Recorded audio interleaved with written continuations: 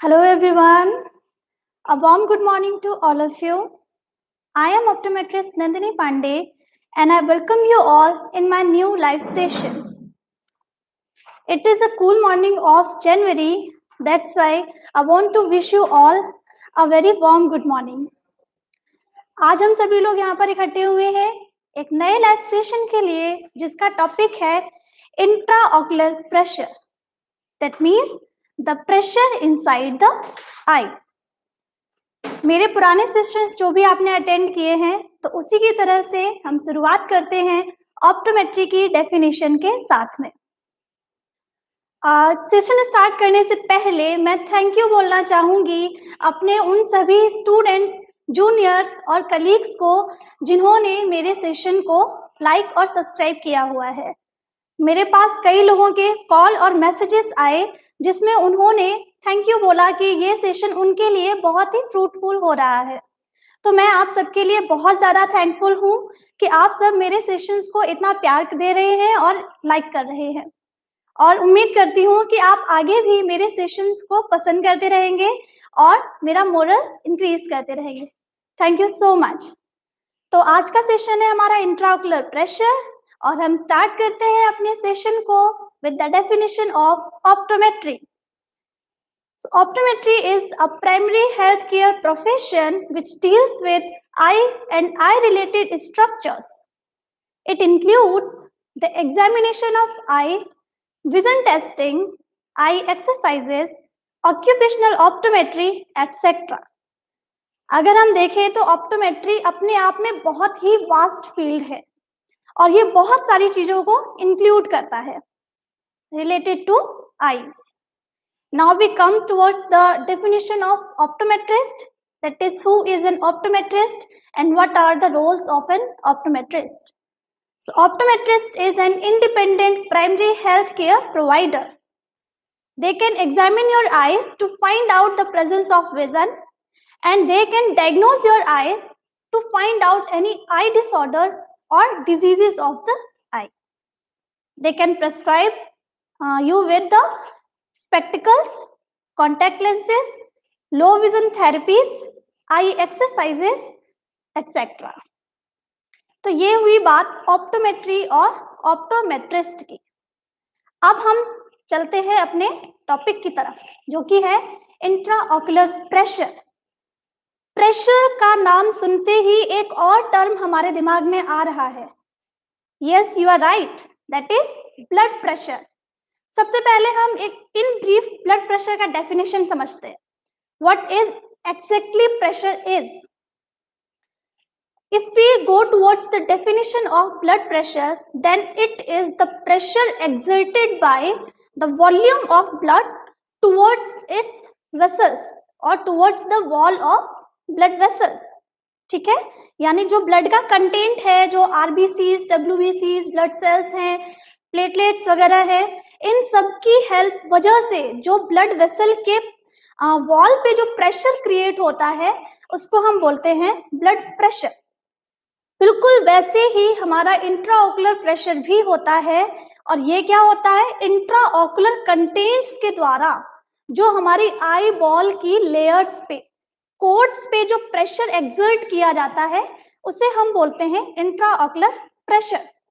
by definition Intraocular pressure is the pressure exerted by intraocular contents towards the walls or codes of eyeball.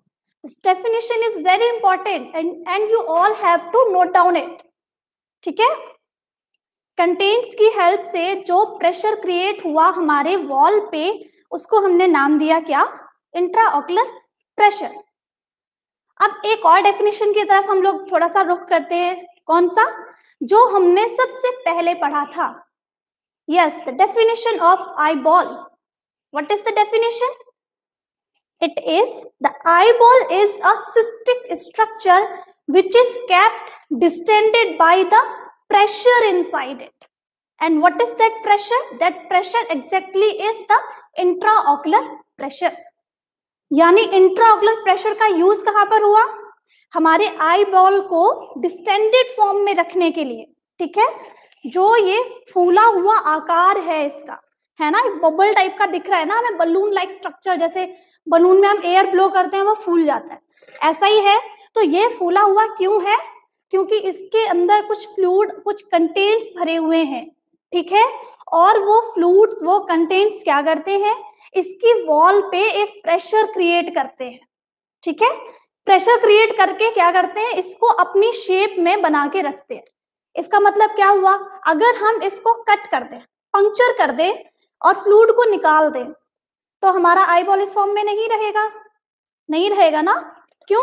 क्योंकि ये हमने पहले ही पढ़ा है कि ये केवल क्यों डिस्टेंडेड है, क्योंकि इसके अंदर फ्लूड भरा हुआ है और वो फ्लूड इसकी वॉल पे प्रेशर क्रिएट करता है और इसको गोल आकार देता है, फूला हुआ आकार देता है।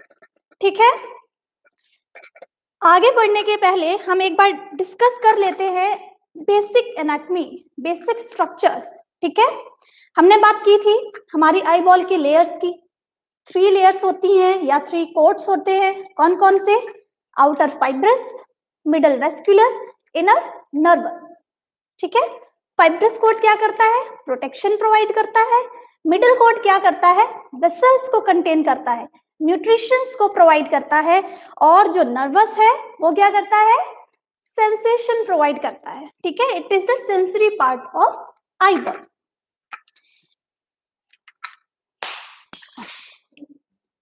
इसके बाद अगर हम बात करें इसके फ्लूड्स की तो जो हमारा एंटीरियर चैम्बर होता है, ठीक है? एंटीरियर चैम्बर की हम बात कर लेते हैं। एंटीरियर चैम्बर में हमारा कौन सा फ्लूड प्रेजेंट होता है? आप सभी लोग इसके बारे में पढ़ चुके हैं। एंटीरियर सेगमेंट यानी एंटीरियर चैम्बर और पोस्टीरियर चैम्बर में कंबाइंडली प्रेजेंट होता है हमारा वटरी सब्सटेंस वटरी फ्लूड जिसे हम बोलते हैं एक्वस ह्यूमर और पोस्टीरियरली प्रेजेंट होता है हमारा क्या? विट्रियस ह्यूमर ठीक है? सो so, बीच में यहाँ पर हमारा लेंस प्रेजेंट होता है लेंस के आगे होता है एक्वस ह्यूमर और लेंस के पीछे होता है विट्रियस ह्यूमर इसका मतलब क्या हुआ कि हमारी आई बॉल में दो टाइप के फ्लूड्स पाए जाते हैं, ठीक है?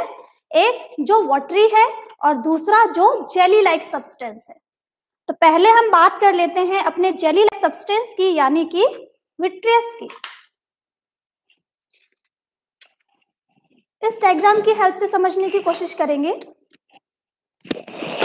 ये हमारे आई बॉल का कट सेक्शन डायग्राम है ओके इसमें जो एंटीरियर हमें ये लेयर दिख रही है, ये है हमारा क्या? कॉर्निया इसके बाद ये स्ट्रक्चर जो हमें दिख रहा है, ये है हमारा क्या? आयरिस और ये हमारा लेंस लेंस के पीछे हमें कुछ शेडी सा एरिया दिख रहा है। ये शेड कौन क्रिएट कर रहा है? विट्रियस ह्यूमर ठीक है? तो हम पहले विट्रियस की बात करते हैं कि विट्रियस हमारा होता क्या है एग्जैक्टली exactly. विट्रियस जो हमारा होता है वो कोलेजन फाइबर्स से मिलके बना होता है। यानी इलोंगेटेड फाइबर्स कौन से वाले?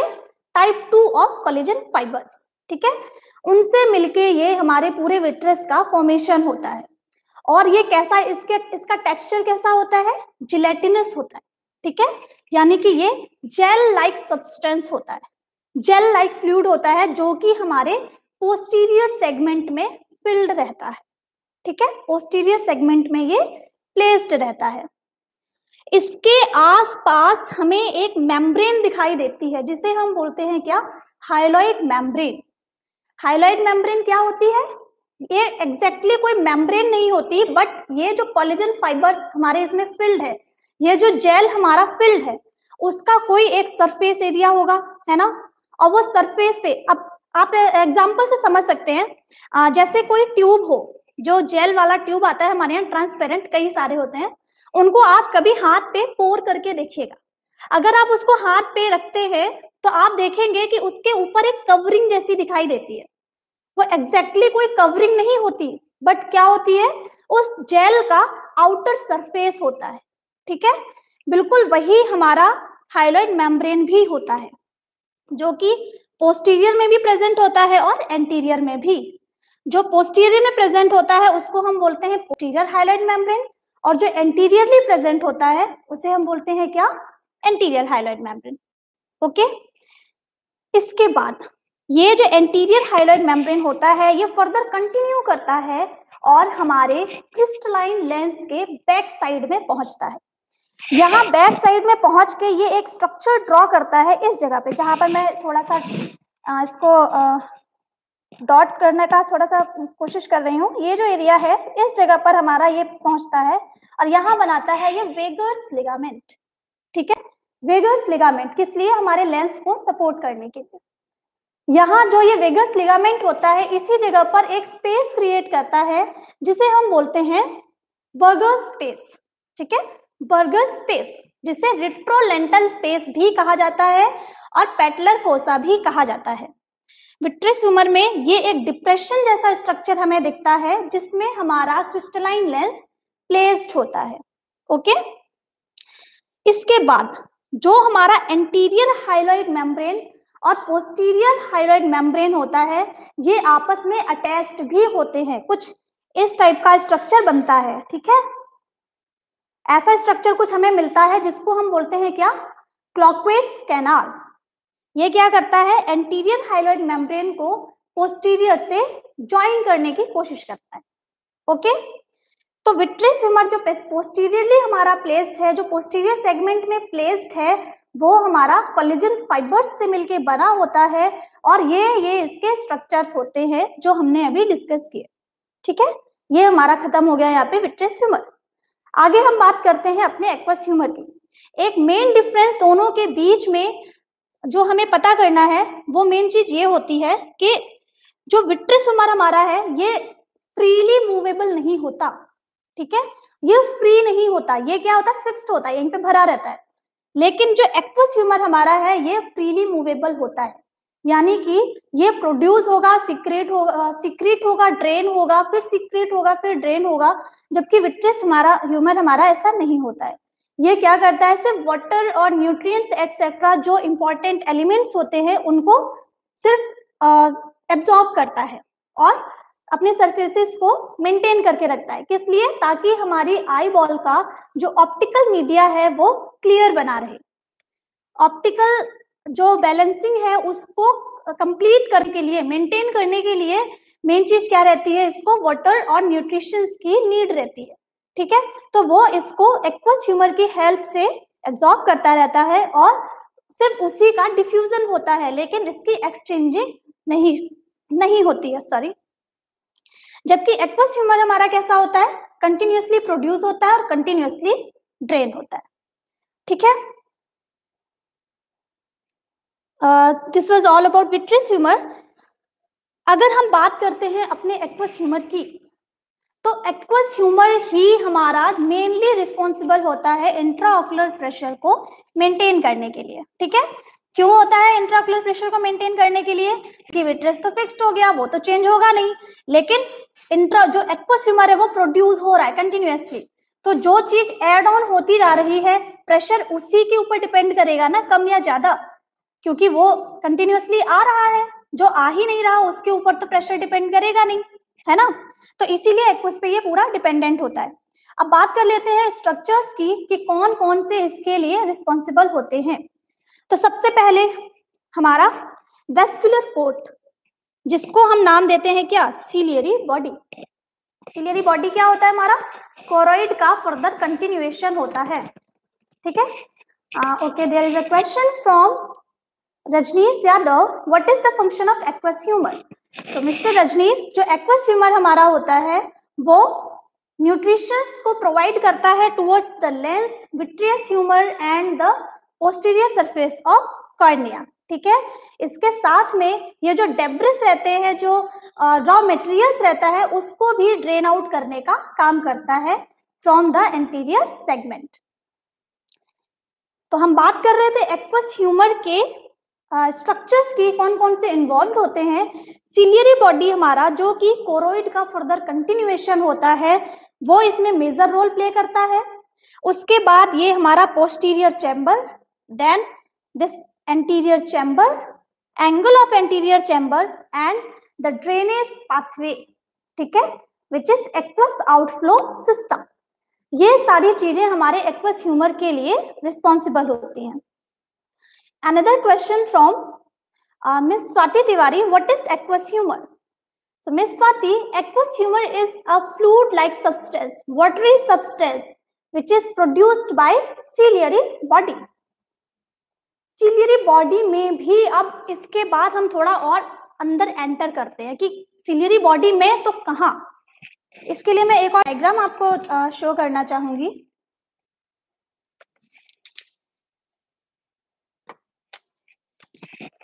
ये जो हमारा स्ट्रक्चर है, ये ciliary body and this is iris okay this is ciliary body and this is iris ciliary body को फिर हम फर्दर टू पार्ट्स में सब डिवाइड करते हैं। हम देख रहे हैं कि यहाँ से लेके यहाँ तक का ये पार्ट हमारा कौन सा है? सिलियरी बॉडी का from here to this point ठीक है? अगर ये पूरा है तो इसमें हमें स्ट्रक्चर्स अलग अलग दिख रहे हैं। एक यहाँ स्ट्रक्चर दिख रहा है जो पोस्टीरियरली है, ये हमें प्लेन दिख रहा है। जबकि अगर हम आगे बढ़ते हैं तो यहाँ हमें कुछ प्रोजेक्शंस टाइप के दिखाई दे रहे हैं। ठीक है? तो जो ये प्लेन सरफेस हमें प्लेन एरिया मिलता है, इसको हम बोलते हैं पार्स प्लाना और जो फिंगर लाइक प्रोजेक्शन हमें मिल रहा है, इसको बोलते हैं पार्स प्लाइकेटा ओके? इसको हम जो पार्स प्लाना स्ट्रक्चर है, इसको कोरोना सिलियरिस भी बोलते हैं। और जो पार्स प्लाइकेटा है, इसको ऑर्बिकुलरिस सिलियरिस भी बोलते हैं। ठीक है? जो पार्स प्लाइकेटा वाला स्ट्रक्चर है, ये रिस्पॉन्सिबल होता है एक्वस ह्यूमर के प्रोडक्शन के लिए। अब पार्स प्लाइकेटा में भी कौन सा स्ट्रक्चर तो इसमें आते हैं हमारे सिलियरी प्रोसेसेस ठीक है? पहले हम डिस्कस कर लेते हैं सिलियरी बॉडी को कंप्लीटली तो सिलियरी बॉडी को फाइव लेयर्स में सब डिवाइड किया जाता है। पीछे जो डायग्राम है, मैं उसकी हेल्प से आपको बताना चाहूँगी। ये हमारा जो सिलियरी बॉडी है, इसको फाइव लेयर्स में सब डिवाइड किया जाता है। सबसे पहले सुप्रासिलियरी लमाइना ठीक है? ये जो सुपीरियरली हमें दिखाई दे रहा है, ये है हमारा सुप्रासिलियरी लमाइना उसके बाद सेकेंडरी लेयर आती है हमारी स्ट्रोमा की। और जो स्ट्रोमा होता है, ये स्ट्रोमा कैरी करता है थ्री टाइप्स की मसल्स को, जो कि सिलियरी मसल्स होती हैं और जिन्हें हम बोलते हैं सिलियरिस ठीक है? ये मसल्स कौन कौन सी होती हैं? लॉन्गिट्यूडनल सर्कुलेटिंग एंड रेडियल ठीक है? Longitudinal circular and radial three types की मसल्स हमें यहाँ पर मिलती हैं और ये मसल्स किसमें हेल्प करती हैं? एकोमोडेशन में और एक्वस के प्रोडक्शन में, ठीक है? इसके बाद अगर हम देखें तो हमें मिलती है लेयर ऑफ़ पिगमेंटेड इपिथीलियम ठीक है?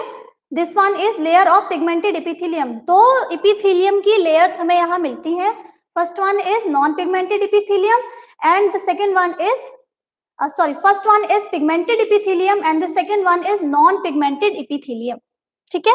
उसके बाद जो इनर मोस्ट हमें स्ट्रक्चर दिख रहा है, उसे हम बोलते हैं क्या? इंटरनल लिमिटिंग मेम्ब्रेन ये स्ट्रक्चर फर्दर कंटिन्यू होके एक इलांगेटेड स्ट्रक्चर बनाता है, जिसे हम बोलते हैं क्या? आयरिस ओके और ये प्रेजेंट है हमारा लेंस और ये रहे जोन्यूल्स जोन्यूल्स आप इसमें इजीली देख पा रहे होंगे, कहाँ से अटैच्ड है ये सीलियरी बॉडी से, ठीक है?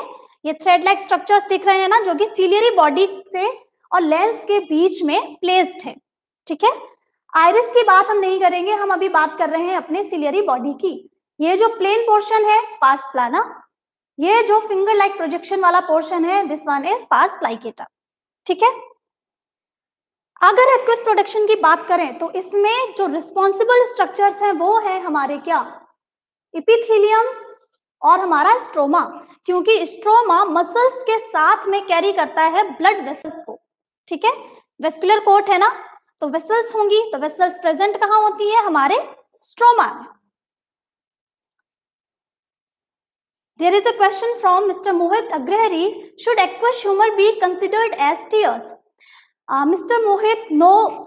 Aqueous humour को हम टीयर्स नहीं बोल सकते क्योंकि एक्वस ह्यूमर जो है वो हमारे एंटीरियर चैम्बर में प्लेस्ड होता है that is inside the eye okay जबकि जो टीयर्स हैं वो हमारे लेक्राइमल ग्लैंड के फ़ंक्शंस होते हैं और एक्वस ह्यूमर हमारा सिलियरी बॉडी का फ़ंक्शन है सिक्रीशन है ओके ये बात हुई हमारी सिलियरी बॉडी की। आगे बात कर लेते हैं कि तो कौन सा स्ट्रक्चर है जो कि इसके प्रोडक्शन के लिए रिस्पॉन्सिबल है? यहाँ जो हमें फिंगर लाइक स्ट्रक्चर मिल रहे थे, उन्हें हम बोलते हैं क्या? सिलियरी प्रोसेसेस प्रोसेस का मतलब क्या होता है? एलोंगेटेड टाइप का स्ट्रक्चर ठीक है? तो ये अगर हम देखें तो कुछ इसका स्ट्रक्चर इस टाइप का होता है, ठीक है? जिसमें प्रेजेंट है ये हमारी ब्लड वेसल्स जो रेड कलर से है वो हमारी आर्टरीज है और जो ब्लू कलर से है वो हमारे वेन्यूल्स है ठीक है? बहुत ही माइनर यहाँ पर, क्योंकि वेसल्स प्रेजेंट होती हैं तो वो कौन सा फॉर्म होता है हमारे ब्लड वेसल का? कौन सा टाइप आर्ट्रियोल्स एंड वेन्यूल्स यहाँ पर प्रेजेंट होती हैं। ये आर्ट्रियोल्स और वेन्यूल्स ही ब्लड को लेकर आती है, इसके थ्रू पास कराती हैं और यहाँ से हमारे एक्वस को पोस्टीरियर चैम्बर में निकाल लिया जाता है सिक्रीट करा दिया जाता है, ठीक है? सिक्रीशन ये डिपेंडेंट कैसा होता है? यहाँ जो सिलेरी प्रोसेस रहती है, इनके अंदर कुछ बायोकेमिकल चेंजेस होते हैं। कैसे? ये सिक्रीट करती हैं सोडियम को। सोडियम पोटेशियम जो चैनल होता है, आप सबने इसके बारे में पहले से पढ़ा होगा तो जो सोडियम पोटेशियम चैनल होता है, उसमें से क्या होता है सोडियम को एक्सक्रीट कर दिया जाता है। अब क्योंकि सोडियम हमारा कौन सा चार्ज है? प्लस तो अगर ये प्लस है तो प्लस को हम कवर अप किससे देते हैं? प्लस के बाद में कौन सा चार्ज हमारा आ जाता है? माइनस चार्ज तो क्योंकि यहाँ पर सोडियम का एक्सक्रीशन हो रहा है, सोडियम आ रहा है आउटसाइड तो इसके साथ ही दूसरे कंपोनेंट्स भी आएँगे जो कि होते हैं हमारे क्या? क्लोराइड एंड बाइकार्बोनेट ठीक है? यानी सोडियम क्लोराइड एंड बाइकार्बोनेट जो हमारे हैं वो बाहर एक्सक्रीट कर जाते हैं, ठीक है? बाहर मीडियम में आ जाते हैं। जब ये दोनों चार्जेस हमारे बाहर आते हैं तो ये क्या करते हैं कि इसको एक ऑस्मोटिक प्रेशर क्रिएट कर लेते हैं यहाँ पे, ठीक है? पोलैरिटी चेंज करते हैं ऑस्मोटिक प्रेशर क्रिएट करते हैं और ऑस्मोटिक प्रेशर की वजह से ये क्या करते हैं? H2O को वाटर को अपने विसल से बाहर की ओर खींच लेते हैं, ठीक है? तो इसकी हेल्प से क्या हुआ? जो हमारे ब्लड वेसल्स H2O को कंटेन कर रहे थे, वो हमारा पोस्टीरियर चैम्बर में आ जाता है, ठीक है? कैसे? क्योंकि उसने उसको बाहर की ओर खींच लिया है। अब अगर वाटर बाहर आ रहा है तो क्या प्लेन वाटर आता है? नहीं। इसके साथ में कुछ एलिमेंट्स भी आउटसाइड आते हैं। वो एलिमेंट्स कौन कौन से होते हैं? फ़र्स्ट हो गया हमारा ग्लूकोज सेकेंड हमारा amino acids and ascorbic acids ठीक है? ग्लूकोज, अमीनो एसिड और एस्कॉर्बिक एसिड, ये तीनों चीज़ें हमारी वाटर के साथ में पोस्टीरियर चैम्बर में आ जाती हैं। ठीक है? एस्कॉर्बिक एसिड को हम सेकेंडली बोलते हैं क्या? विटामिन सी ये इसमें जो एस्कॉर्बिक एसिड हो गया और जो ग्लूकोज और अमीनो एसिड्स होते हैं, ये दोनों क्या करते हैं? हमारी बॉडी को न्यूट्रिशन प्रोवाइड करते हैं, हमारी आई बॉल को न्यूट्रिशन प्रोवाइड करते हैं। और जो स्कॉर्बिक एसिड होता है, यानी कि विटामिन सी वो एंटीऑक्सीडेंट की तरह से काम करता है। ठीक है? तो इसकी हेल्प से क्या हो गया कि हमारा जो भी फ्लूड था एग्जैक्टली exactly जो हमारा एक्वस ह्यूमर था, वो सिक्रीट हो गया है किसमें हमारे पोस्टीरियर चैम्बर में। पोस्टीरियर चैम्बर में इसका सिक्रीशन हुआ। अब, क्योंकि कंटिन्यूसली ये सिक्रीट हो रहा है। कंटिन्यूसली सिक्रेट होता है और इसकी सिक्रेशन रेट क्या होती है? 2.5 माइक्रोलीटर पर मिनट ठीक है? यानी ये 2.5 माइक्रोलीटर पर मिनट की रेंज से यहाँ पर सिक्रेट होता है। ठीक है? वाया सिलियरी प्रोसेसेस और यहाँ से ये सिक्रेट होके सबसे पहले पहुँचता है कहा? हमारे पोस्टीरियर चैम्बर में। ठीक है? पोस्टीरियर चैम्बर में। जैसा कि इस डायग्राम में आपको दिखाया गया है। यहाँ से एक्वस ह्यूमर का प्रोडक्शन हो रहा है इस स्ट्रक्चर से। This is our ciliary body यहाँ से प्रोडक्शन हुआ और ये गया हमारे पोस्टीरियर चैम्बर में। पोस्टीरियर चैम्बर एग्जैक्टली अब होता क्या है? ठीक है? प्रोडक्शन यहाँ पर हो गया सिक्रीशन हो गया है। तो अब अगले स्ट्रक्चर पे जाते हैं कि पोस्टीरियर चैम्बर एग्जैक्टली है क्या। तो पोस्टीरियर चैम्बर हमारा एक ट्रायंगुलर स्ट्रक्चर होता है, ठीक है? ट्रायंगुलर फॉर्म में स्ट्रक्चर होता है जो कि कवर किया जाता है posterior part of iris and anterior part of zonules and crystalline lens ठीक है? यानी पोस्टीरियर चैम्बर हमारा एंटीरियरली बाइंड किया जाता है आयरिस के पोस्टीरियर सरफेस से और पोस्टीरियरली बाइंड किया जाता है हमारे लेंस के एंटीरियर सरफेस ठीक है? यहाँ पर हमने इस एरो की हेल्प से ये दिखाने की कोशिश की है कि हमारे एक्वस ह्यूमर का पाथवे क्या है? वो किस तरीके से हमारे पोस्टीरियर से एंटीरियर चैम्बर में ट्रेवल करता है? क्योंकि यहाँ हमें एक इलोंगेटेड स्ट्रक्चर दिख रहा है, जो कि क्या कर रहा है? इसको रेजिस्ट कर रहा है। वरना ये एक्वस यहाँ सीक्रेट होता डायरेक्ट एंटीरियर चैम्बर में चला जाता। है ना? तो यहाँ क्या हो रहा है? रेजिस्टेंस प्रोवाइड किया जा रहा है इस आयरिस की हेल्प से। यानी एक्वस ह्यूमर को यहाँ प्रोड्यूस होना है, उसके बाद ट्रेवल करना है और फिर यहाँ से पहुँचना है कहा? इंटीरियर चैम्बर पे। Okay I think this is clear to you जो हमारा पोस्टीरियर चैम्बर होता है, वो टोटल 0.06 ml एक्वस ह्यूमर को कंटेन करता है। This point is to be noted कि कितना एक्वस ह्यूमर हमारे पोस्टीरियर चैम्बर में प्लेस्ड होता है। ठीक है? तो 0.06 ml जो है, वो हमारा पोस्टीरियर चैम्बर कैरी करता है और उसके बाद ये ट्रेवल करता है कहा? हमारे एंटीरियर चैम्बर में। अब एंटीरियर चैम्बर एग्जैक्टली क्या होता है? तो जो हमारा एंटीरियर चैम्बर है, वो एंटीरियरली कॉर्निया के पोस्टीरियर सरफेस से बाइंड किया जाता है। और पोस्टीरियरली आयरिस के एंटीरियर सरफेस से बाइंड किया जाता है। ठीक है? यानी जो एंटीरियर चैम्बर है, वो इन बिटवीन कॉर्निया और आयरिस प्लेस्ड होता है हमारा। और कैसे? कि कॉर्निया का पोस्टीरियर सरफेस एंटीरियर चैम्बर का इंटीरियर सरफेस बनाता है और आयरिस का एंटीरियर सरफेस हमारे एंटीरियर चैम्बर का पोस्टीरियर सरफेस बनाता है। There is nothing to be confuse सिर्फ़ एंटीरियर एंड पोस्टीरियर को आपको याद रखना है। ओके? अब आ गया हमारा एंटीरियर चैम्बर में। तो जो पूरा एंटीरियर चैम्बर हमारा होता है, वो about three M M deep होता है हमारा, ठीक है? और कैरी करता है 0.25 ml ऑफ़ एक्वस ह्यूमर ये पॉइंट भी नोट करने के लायक है कि 0.25 ml अगर हमारा एंटीरियर चैम्बर में प्लेस्ड है पोस्टीरियर चैम्बर में कितना था? 0.06 ml, ठीक है? तो टोटल एक्वस ह्यूमर कितना हुआ? ये आप लोग कैलकुलेट कर लीजिए ओके एंटीरियर चैम्बर में 0.25 पोस्टीरियर में 0.06 ml यहाँ से अब ये हमारे एंटीरियर चैम्बर में पहुँच गया। एंटीरियर चैम्बर में पहुँच के ये क्या करेगा? जो कॉर्निया का पोस्टीरियर सरफेस है, जो पोस्टीरियर लेयर कौन सी होती है कॉर्निया की? हमारी इंडोथीलियम ठीक है? और ये बात हम सबको पता है कि कॉर्निया हमारा ए वेस्कुलर स्ट्रक्चर होता है। कॉर्निया में कोई भी वेसल प्रेजेंट नहीं होती है। अब अगर कॉर्निया में कोई वेसल प्रेजेंट नहीं है दैट मीन्स उसके पास न्यूट्रिशन पहुँचने का कोई सोर्स नहीं है तो उसे एडिशनली न्यूट्रिशन देना होगा। और हमने बात की कि जब हमारा एक्वस सीक्रेट हुआ था तो सीक्रेशन के टाइम पे इसमें क्या क्या चीज़ें आई थी? वाटर आया था। वाटर के साथ में क्या आया? ग्लूकोज आया था, अमीनो एसिड्स आए थे और एस्कॉर्बिक एसिड भी आया था, ठीक है? तो ये सारे एलिमेंट्स क्योंकि वाटर के साथ में वहाँ पर सीक्रेट हुए थे। तो कॉर्निया को न्यूट्रिशन प्रोवाइड किया जाएगा किसकी हेल्प से? ग्लूकोज और अमीनो एसिड की हेल्प से। उसके साथ में जो वाटर है, वो वाटर क्या करेगा? इसकी वेटेबिलिटी को मेंटेन करने करने के लिए हेल्पफुल होगा, ठीक है?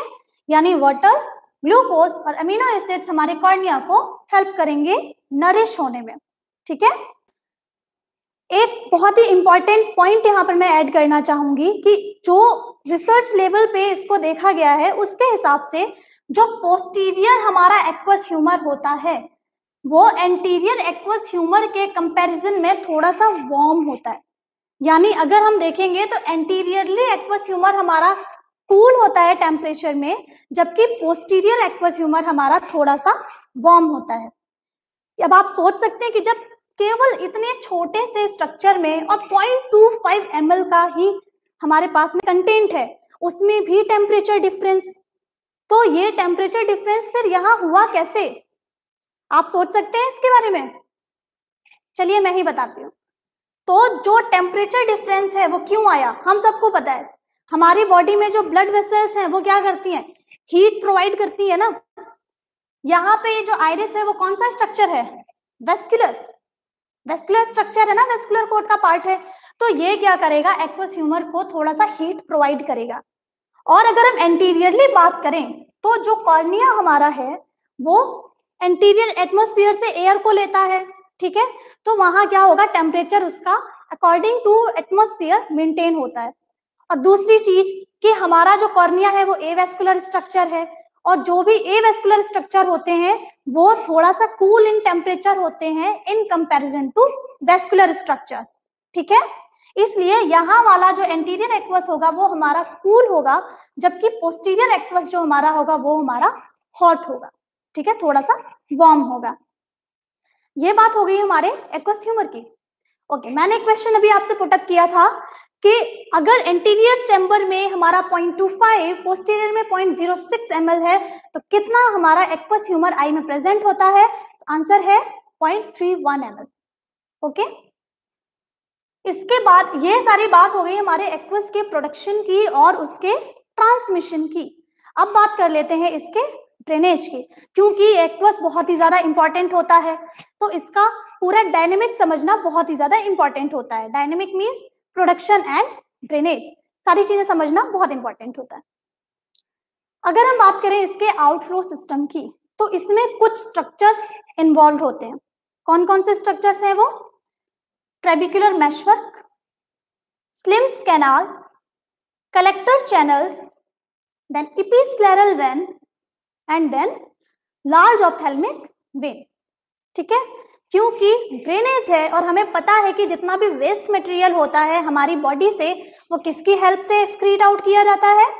वेन्स की हेल्प से, ठीक है?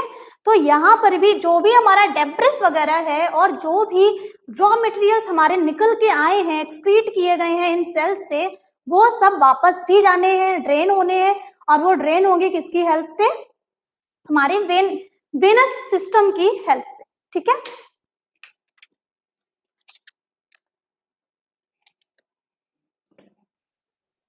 ट्रेबिकुलर मेशवर्क जो होता है, वो हमारा मेशवर्क का मतलब क्या होता है? एक सीव लाइक स्ट्रक्चर ठीक है? ये एक छन्नी टाइप का स्ट्रक्चर बनाता है। छन्नी आप सभी ने देखी है? उसमें क्या होता है? बहुत सारे तार लगे होते हैं ऐसे करके और कुछ इस टाइप का स्ट्रक्चर बनाता है। छोटे छोटे छोटे छोटे से छेद होते हैं, ठीक है?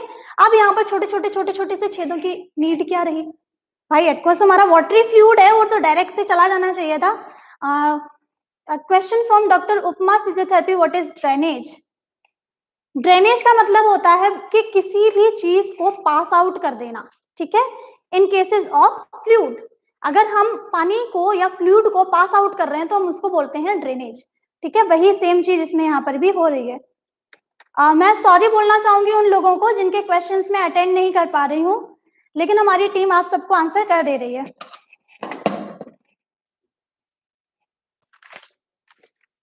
हाँ जी तो हमने बात की ट्रेबिकुलर मेशवर्क की हमारी, जो मेशवर्क है, वो सीव लाइक स्ट्रक्चर होता है और वो क्या करता है? इस फ्लूड को पास होने के लिए एक एरिया प्रोवाइड कर देता है, ठीक है?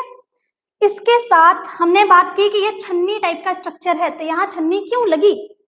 वो इसलिए क्योंकि in cases of some of diseases कुछ डिजीजेस की कंडीशंस की अगर हम बात करें तो उसमें क्या होता है कि जो हमारा इपिथीलियम है, ये जो इपिथीलियम था हमारा, ये इपिथीलियम प्रॉपरली एक्ट नहीं कर पाता और आरबीसीज डब्ल्यूबीसीज वगैरह हमारे जो ब्लड वेसल्स होते हैं, वहाँ से हमारे किसमें स्ट्रोमा में और उसके बाद पोस्टीरियर चैम्बर में आ जाते हैं। ठीक है? उसके बाद ये पोस्टीरियर चैम्बर से एंटीरियर चैम्बर की तरफ़ मूव कर जाते हैं। अगर ये मूव करेंगे तो ये डायरेक्ट स्लिम्स कैनाल से होते हुए हमारे वीनस सिस्टम में चले जाएँगे। तो इसको यहाँ पर प्रोटेक्ट करने के लिए, अगर यहाँ से कोई सेल्स जाएँगे तो वो यही ट्रेबिकुलर मेशवर्क में क्या हो जाएँगे? रुक जाएँगे, यहीं पर फंस जाएँगे, ये अंदर नहीं जा पाते। ठीक है? लेकिन अब इसमें क्योंकि यहाँ पर फंस जाएँगे तो एक कंडीशन और कॉज हो जाती है। है ना? क्योंकि अब घर में आप एग्ज़ाम्पल ले लीजिए घर में जो आ, नाली होती है अगर वहाँ कोई ब्लॉकेज आ जाएगा तो क्या होगा? पानी वहीं पे रुक जाएगा ना? पास आउट नहीं होगा। अगर हमारी आई में भी ट्रेबिकुलर नेटवर्क पे कोई सेल्स आके फंस गए कोई एक्सुडेट्स आके फंस गए जैसे कि हाँ कोई आरिडोसाइक्लाइटिस वगैरह का केस है यूवीआईटिस का केस है या फिर कैटरेक्ट का भी केस है तो जो भी वहाँ पर डेब्रिस आया, अगर वो यहाँ फंस जाएगा तो क्या होगा? जो हमारा एक्वस है, वो आउटफ्लो नहीं हो पाएगा। और जब आउटफ्लो नहीं होगा तो क्या होगा? इंक्रीज इन इंट्राओकुलर प्रेशर और जब इंट्राओकुलर प्रेशर हमारा इंक्रीज हो जाता है तो वहाँ एक और कंडीशन आती है, जिसको हम टर्म करते हैं क्या? ग्लोकोमा ठीक है? इंट्राओकुलर प्रेशर में इंक्रीज होने को हम बोलते हैं ग्लोकोमा और अगर इस केस में हमारा इस कंडीशन की वजह से होता है तो इसको हम सेकेंडरी ग्लोकोमा का नाम देते हैं। रेस्ट जो ग्लोकोमा के बारे में है, वो हम ग्लोकोमा के लेक्चर में इसको डिटेल में पढ़ेंगे, ठीक है? तो यहाँ ट्रेबिकुलर मेशवर्क से हो के ये फिर स्लिम्स कैनाल की तरफ़ हमारा एक्वस फॉरवर्ड करता है मूव करता है, और यहाँ स्लिम्स कैनाल से वो कलेक्टर चैनल्स की हेल्प से कैरी कर लिया जाता है कलेक्ट कर लिया जाता है, ठीक है? कलेक्टर चैनल्स होते हैं, वो क्या करते हैं, सब तरफ़ से उसको लेके कलेक्ट कर लेते हैं। अब इसको कलेक्ट करने के बाद में ये ले जाते हैं कहा? इपीस्क्लेरल वेन में, ठीक है?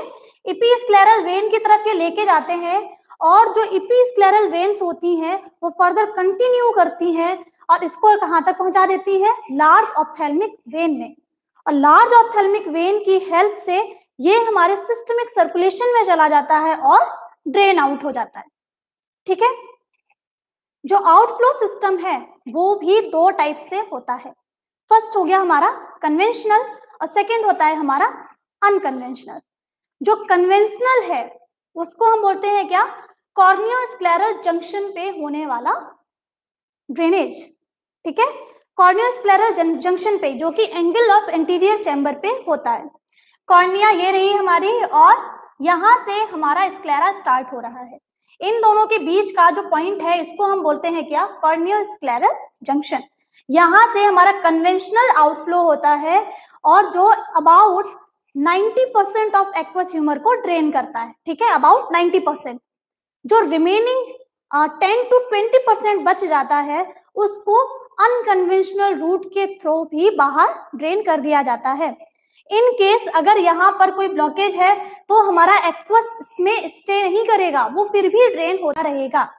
कैसे? अनकन्वेंशनल पाथवे की हेल्प से। अनकन्वेंशनल कैसा होता है? वो यहाँ से हमारी सिलियरी बॉडी में एंटर करता है। ठीक है? सिलियरी बॉडी में एंटर करेगा, उसके बाद फॉरवर्ड करेगा टुवर्ड्स द कोरोइड ने बात की, जो सिलियरी बॉडी है, वो कोरोइड का फर्दर कंटिन्यूएशन होता है है ना? तो यहाँ से ये सीलियरी बॉडी में जाएगा देन जाएगा ये कहा? कोरोइड में। वहाँ से पहुंचेगा ये सुप्रा कोरोइडल स्पेस में। ठीक है? सुप्रा कोरोइडल स्पेस में पहुंचेगा, फिर वहाँ से जाएगा स्क्लेरल वेनस प्लेक्सस में। प्लेक्सस इज़ अ नेटवर्क तो स्क्लेरल वेनस प्लेक्सस में जाएगा और उसके बाद में ये इपीस्क्लेरल वेनस प्लेक्सस में चला जाएगा और ड्रेन आउट हो जाएगा। ठीक है? तो पूरा एक्वस जो हमारा है, दो रूट से ड्रेन आउट होता है। पहला, जो हमारा कन्वेंशनल है, और दूसरा, जो हमारा अनकन्वेंशनल रूट है। यहाँ दोनों रूट्स आपको दिखाए गए हैं। ओके ये सारी बात हो गई हमारी एक्वस प्रोडक्शन और आउटफ्लो की। अब हमने इतना लंबा लेक्चर इसके प्रोडक्शन और आउटफ्लो पे क्यों लिया? क्योंकि इंट्राओकुलर प्रेशर हमारा इसी पे डिपेंड करता है।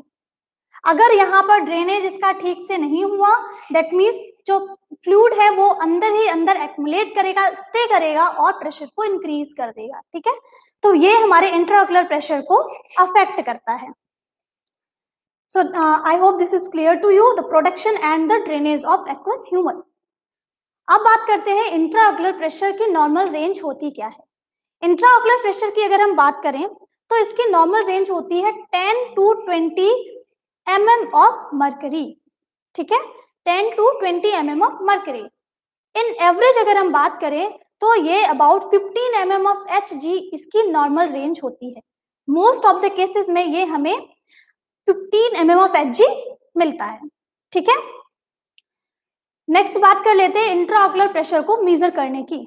तो इंट्राऑकुलर प्रेशर को डिफरेंट इंस्ट्रूमेंट्स की हेल्प से मेजर किया जाता है। सबसे फ़र्स्ट होता है डिजिटल टोनोमेट्री ये मैनुअल मेथड होता है, जिसकी हेल्प से डायरेक्ट जो भी आपका एग्जामिनर होता है, वो ऑप्टोमेट्रिस्ट हो या फिर ऑप्थेल्मोलॉजिस्ट हो, वो आपकी आई के प्रेशर को मैनुअली मेजर करते हैं, ठीक है? कुछ इस टाइप से आपने अगर कभी आई चेकअप करवाया हो तो आपका प्रेशर कुछ इस टाइप से मेजर किया गया होगा। उसको बोलते हैं हम क्या? डिजिटल टोनोमेट्री नेक्स्ट अगर हम बात करें तो हमारे इंट्राओकुलर प्रेशर को मेजर किया जाता है मैनोमेट्री एंड टोनोमेट्री की हेल्प से। मैनोमेट्री क्या होती है? इसमें एक ट्यूब आपकी आई में इंसर्ट की जाती है और वो कनेक्टेड होती है एक एचजी की स्केल से एम एम की स्केल से। और जो भी आपका आई का प्रेशर होता है, वो उस स्केल की हेल्प से मीजर कर लिया जाता है। ठीक है? मैनोमेट्री को ज़्यादातर केसेस में यूज़ नहीं किया जाता है। मोस्ट प्रोबेबली हम यूज़ करते हैं टोनोमेट्री को। What is tonometry it is exactly the measurement of intraocular pressure tonometry को भी हम दो फॉर्म में करते हैं contact tonometry and non contact ठीक है? दो टाइप के टोनोमीटर्स हमारे यहाँ अवेलेबल है नॉन कॉन्टैक्ट एंड कॉन्टैक्ट जो नॉन कॉन्टैक्ट है, जैसा कि नाम बता रहा है कि नॉन कॉन्टैक्ट यानी कि ये कॉन्टैक्ट में नहीं आता। उसके बाद भी ये प्रेशर को मेजर कर लेता है। कैसे? वाया एयर पफ ठीक है? एक एयर पफ पेशेंट की आई में ब्लो किया जाता है और उसके बाद में जो रिवर्ट बैक आती है, उसके हिसाब से वो रीडिंग को मेजर करता है। ठीक है? नेक्स्ट है हमारा कॉन्टैक्ट टोनोमीटर कॉन्टैक्ट टोनोमीटर की अगर हम बात करें तो इसमें हमें दो मिल जाते हैं, जैसे कि श्योर्स टोनोमीटर है और हमारा एप्लेनेशन टोनोमीटर है। ठीक है? ये दोनों ही मैनुअल मेथड होते हैं, दोनों को ही एक एग्जामिनर की हेल्प से किया जाता है। जो श्योर स्टोनोमीटर होता है, उसमें एक छोटा सा प्लंगर लगा होता है, जो पेशेंट की आई पे टच किया जाता है और जो उसकी निडल होती है, उस निडल के मूवमेंट के बेसिस पे, जहाँ पर भी वो निडल जाकर स्टे करती है, उस रीडिंग को मेजर किया जाता है। ठीक है? ऑक्लिनेशन टोनोमीटर के केस में क्या होता है कि उसके पास में हमारे पास एक प्रिज्म होता है और उसकी हेल्प से उस आईओपी को हम मेजर करते हैं। जो हमारा टोनोमीटर है इफ़ पॉसिबल एक एक इसके लिए एक पर्टिकुलर लेक्चर रख दिया जाएगा, जिसमें आपको सारे टोनोमीटर्स के बारे में और इसके प्रोसीजर्स के बारे में इजीली एक्सप्लेन कर दिया जाएगा। एक और पॉइंट यहाँ पर मिसिंग है, वो ये कि अगर प्रेशर बढ़ गया है तो क्या ये प्रोडक्शन रुक जाता है? जैसे प्रेशर बढ़ गया, भाई अब एक्सटेंड से ज़्यादा हो गया। यानी नॉर्मल प्रेशर की बात हमने की 10 to 20 M M of H G अगर उससे ज़्यादा हो रहा है तो क्या ये सिक्रेशन रुक जाएगा प्रोडक्शन रुक जाएगा। नहीं ये प्रोडक्शन नहीं रुकता है। भले ही प्रेशर हमारा 20 एम एम एच जी हो 40 एम एम एच जी हो या 50 एम एम एच जी हो ठीक है? ये कंटिन्यूअसली यहाँ से सिक्रेट होता रहेगा और वहाँ से ड्रेन होता रहेगा। So in my opinion, this was all about the intraocular pressure. हमने सारी चीज़ों को डिस्कस किया। स्ट्रक्चर्स जो इसमें इन्वॉल्व होते हैं इसका प्रोडक्शन कैसे होता है और इसका आगे ड्रेनेज कैसे होता है? There is a question from miss Preeti Tiwari can anxiety raise eye pressure yes Preeti anxiety eye pressure को इंक्रीज करता है। बिल्कुल करता है क्योंकि आपने सुना होगा एंजाइटी में हमारा ब्लड प्रेशर भी रेज होता है। तो इसी की वजह से हमारा इंट्राऑकुलर प्रेशर भी उस केस में रेज होता है। बिल्कुल सिमिलरली अगर हमारा इंट्राक्रेनियल प्रेशर भी रेज होता है इंक्रीज होता है तो भी हमारा इंट्राऑकुलर प्रेशर इंक्रीज होगा। मैं उम्मीद करती हूँ कि आप सभी लोगों को अपने क्वेश्चंस के आंसर मिल गए होंगे और आप सबको ये सेशन बहुत ही अच्छा लगा होगा। अगर आपको ये सेशन इंफॉर्मेटिव और इंटरेस्टिंग लगा है तो आप हमारे चैनल को लाइक और सब्सक्राइब करना ना भूलें।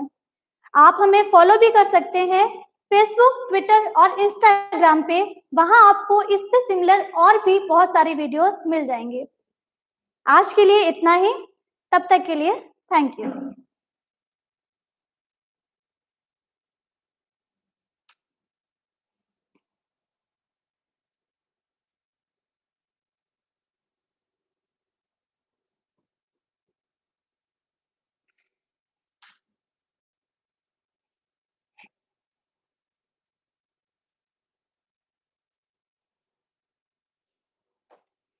वो अननेसेसरी